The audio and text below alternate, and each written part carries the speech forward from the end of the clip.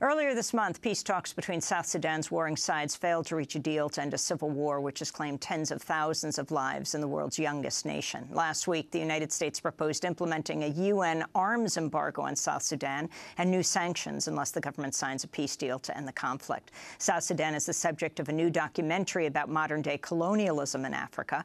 Austrian director Hubert Sauper's We Come as Friends provides an aerial view of the conflict in Sudan from a shaky, handmade two two-seater plane.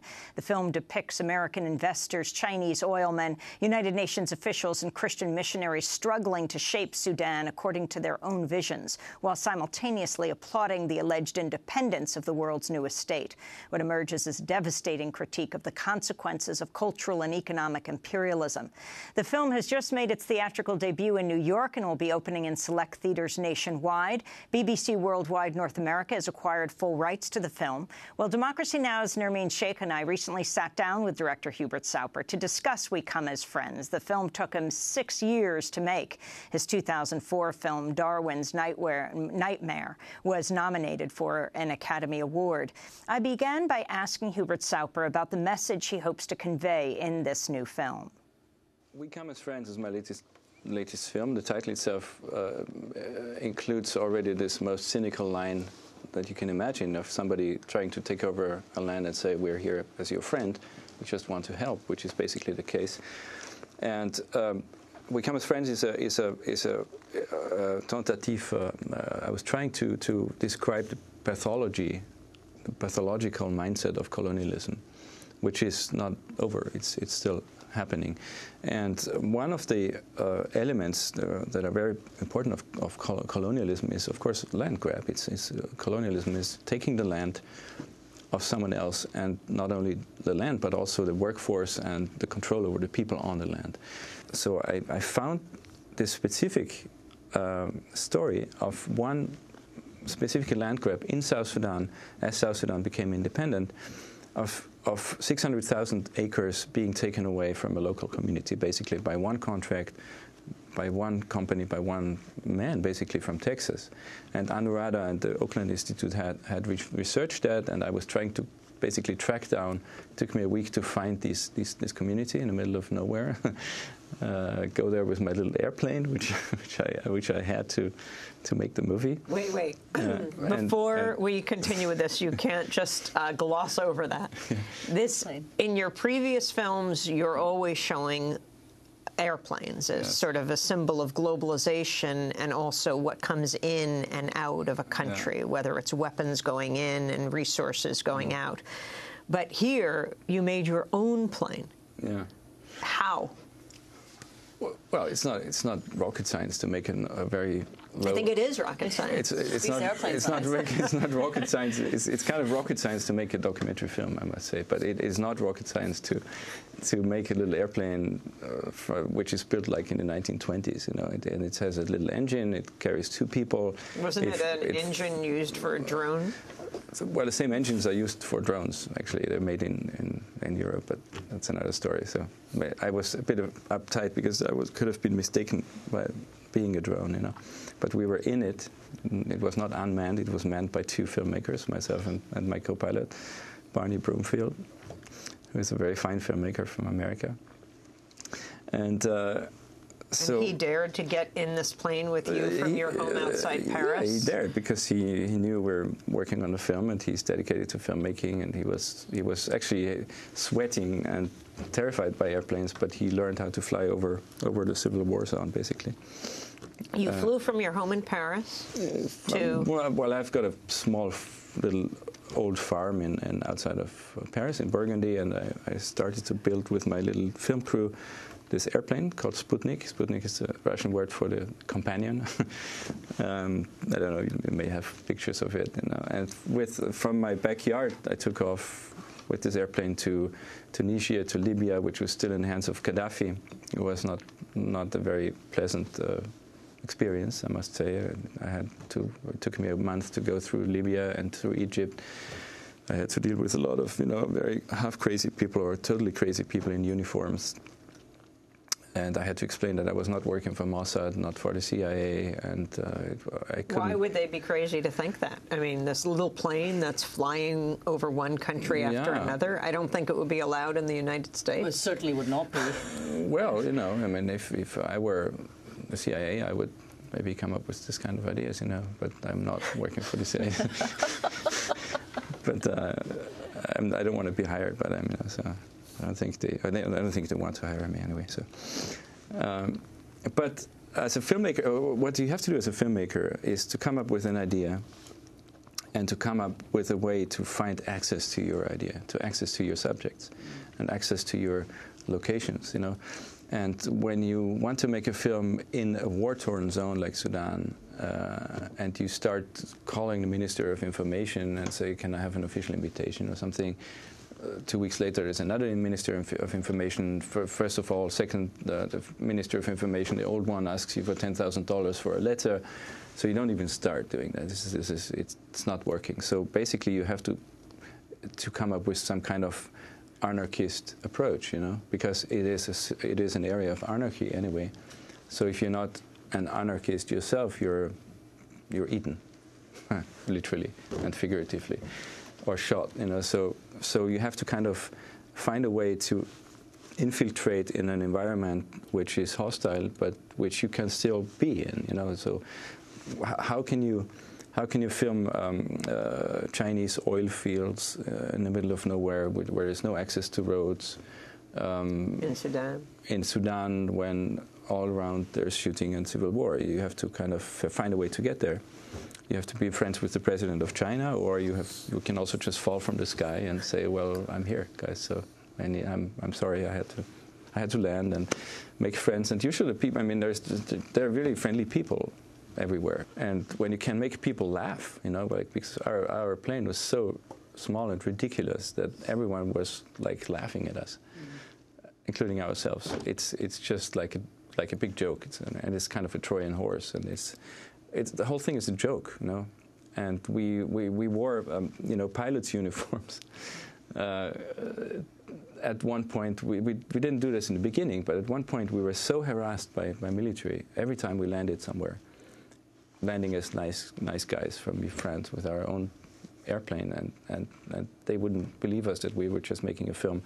So we ended up dressing up as as pilots, airline pilots, with with with four stripes. I had I put myself four stripes as a, as a captain on my shoulders, It's like like the dictators who put their own crowns on, and it was so it was so ridiculous, and we were just just laughing. We were just this is so odd, you know. And then as, as soon as we got to the next military camp, the soldiers would salute us, and uh, the com- commander would invite us for tea, and, uh, and, and and they would call us captain, and, and so and so. Suddenly, we we had kind of mutated ourselves into what we what what I hate most. I can't stand uniforms. It's the worst.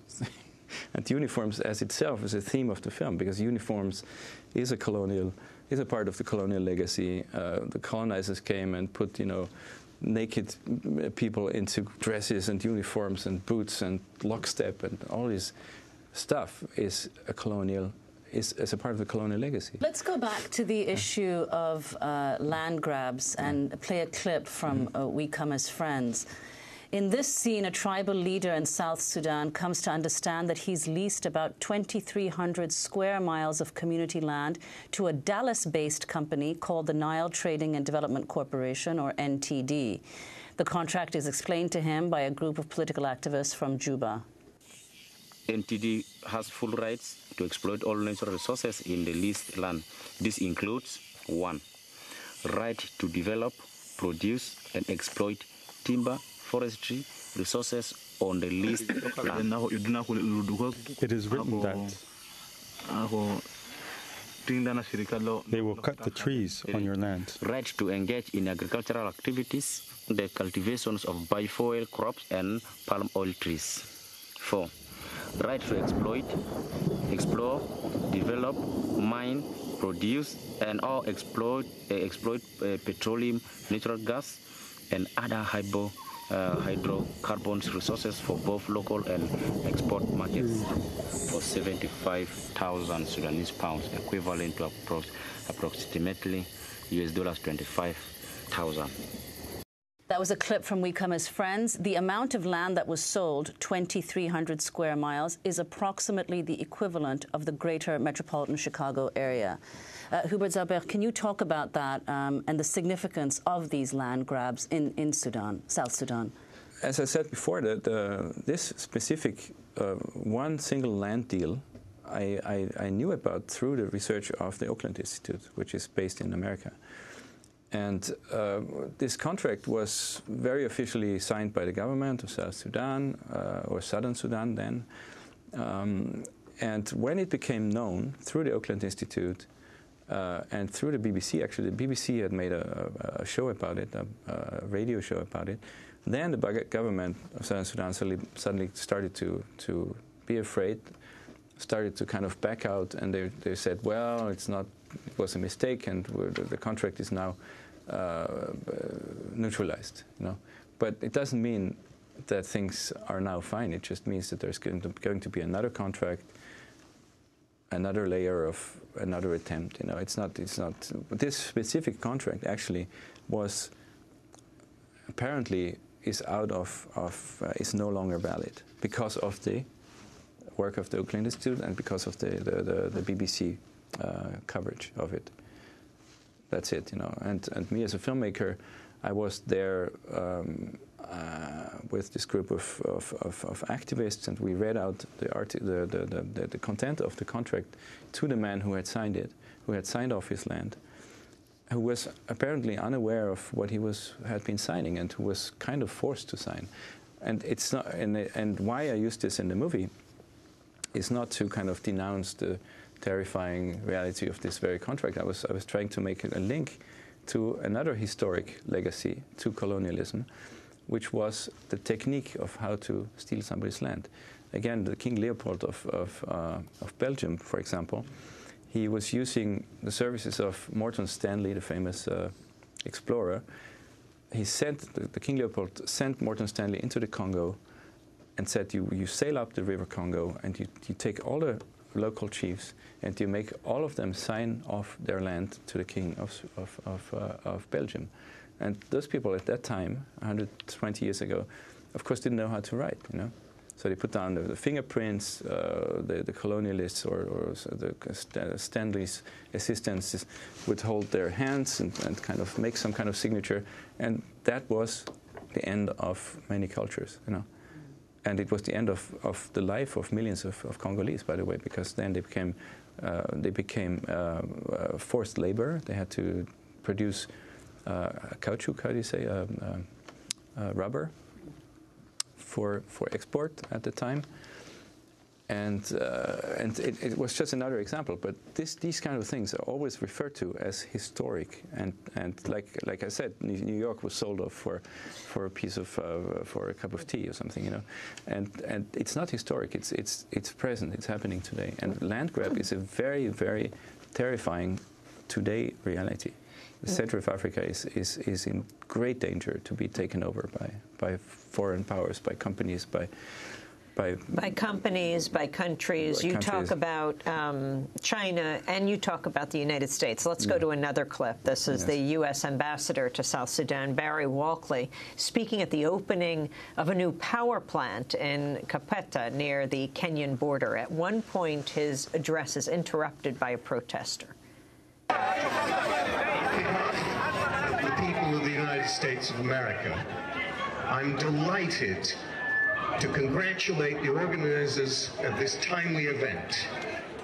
The, the Kapoeta power plant can today serve approximately 725 customers through 20 kilometers of completed electric lines. In the future, we'll be able to serve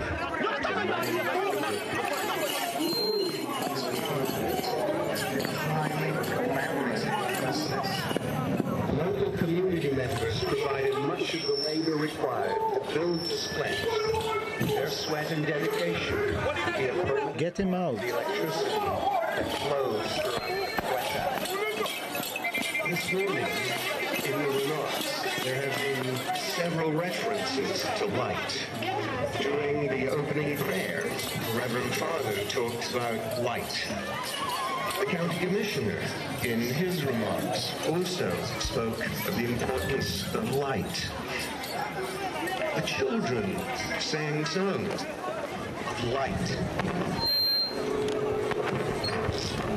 Those remarks, those references to light, were literally and figuratively appropriate because today we are literally and figuratively bringing light Bringing light. The U.S. ambassador to South Sudan, Barrie Walkley, describe this whole scene for us. Yeah, again, the, We Come as Friends is, is, a, is, a, is a study of the pathology of colonialism, and, and a lot of things that we, if you're if you're a part of a pathology, all of us, I would say, uh, you don't necessarily realize the the grave uh, the, the, implication of what what what you say sometimes, you know. And uh, one of the things that the colonizers did was using religion. The, the Arabs were using Islam, uh, and the West, or let's say the, the Europe or America, were using Christianity as a tool. And the, the argument of Christianity was we have to bring peace, we have to bring civilization, we have to bring God and light versus darkness.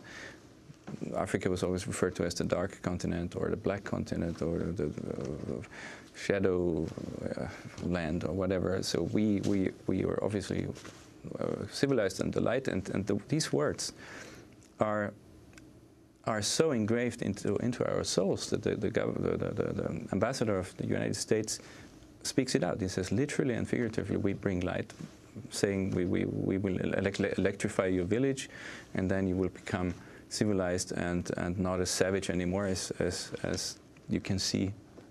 I'm not saying this, I'm just quoting. Um, so, what is behind it? I don't know. It's good intention. I mean, I don't think. I think it's a it's an it's a it's an elegant person, this ambassador. You know, he's he's doing what he has to do. He works for his country. He brings the, the good words. He says, "We come as friends." He opens a, a, a, power station and electricity in an area, by the way, where people are starving and we're, we're dying from famine. In, in this very uh, proximity of this electric power station, people are dying from starvation, which is which is not the fault of and, and, I mean, I'm not blaming the ambassador. I'm just saying that, that there's these re realities are so crazy. And when you think of it, why, of all places, in this very village, Kapoeta, was suddenly a, an electric power station? Um, and there may be a connection, and I'm, I'm just suggesting something which I, which I cannot prove now, but the three quarters or, or or so of all the reserves of gold in South Sudan, and it's a, it's a huge amount of gold, and three quarters of that gold is in this very spot around Kapoeta. You talked yeah. about the role of uh, Christianity and of missionaries yes. um, in colonialism. So I want to play another clip from We Come as Friends. Here, an evangelist from Oklahoma is preaching to a group of students in his missionary school in that same small town uh, of Kapoeta near the Kenyan border in, in South Sudan.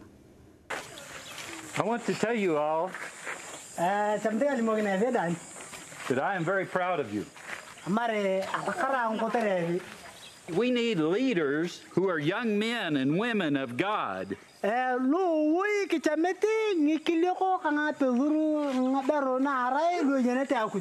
who trust in God and know that He will answer your prayers.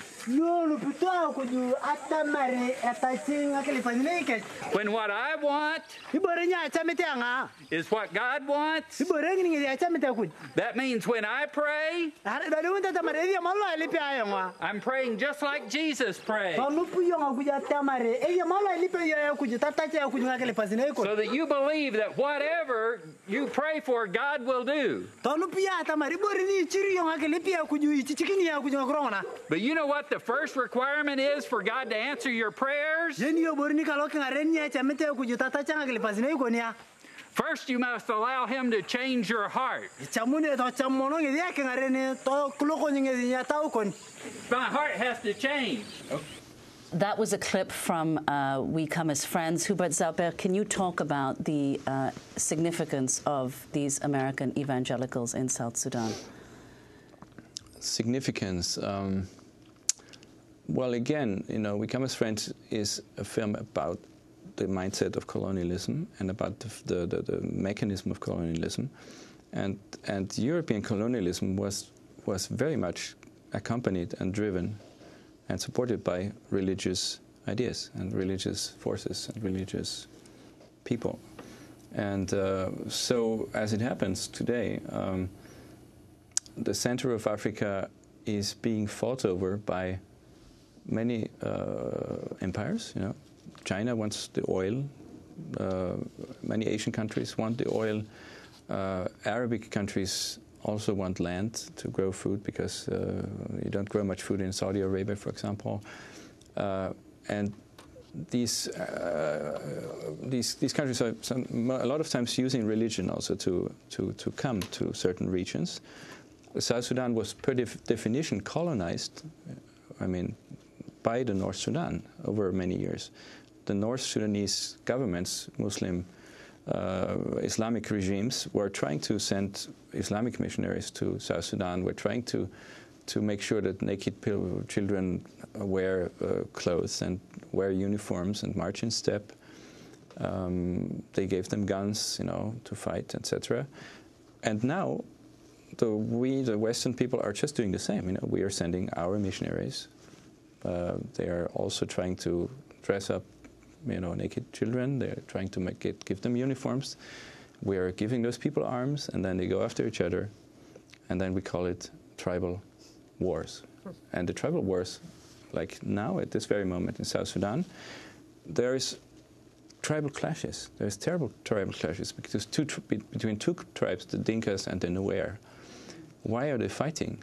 They're really fighting because the warlords of the Dinkas and the Nuer, the warlord, the chief of the Dinkas, basically the, the, the, is, is, the president of South Sudan at this moment, and his opponent is, is called uh, Riek Machar. He's, he's a Nuer, and and to make a long story short, these warlords are fighting over who has the control over the resources, and who has the power, and, and then they're taking the whole country hostage, and and they're saying we are the Nuer, we are the Dinka we should go after the others. And, and, and in the reports and, and, and in the American press and in the, even in the BBC, all you hear is about the Nuer are fighting the, against the Dinkas and basically suggesting those savage Africans fight against each other. And now what we have to do is come in, bring the UN, and bring the missionaries and bring peace. But nobody really talks about the, uh, the, the, the source of the problem is already the presence of money and people who want the oil and people who give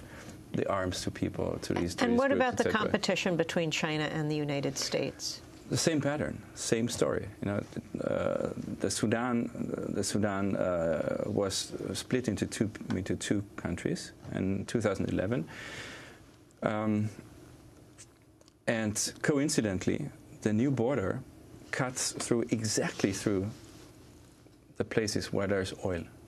I don't know why. Can you explain why? The North and the South Sudan are split up, and, the, and exactly the new border, which divides, which is, you know, divide and rule is a part of, uh, of the problem in Africa. Borders are part of the problem. So this new border was created. It's 2,000 kilometers long.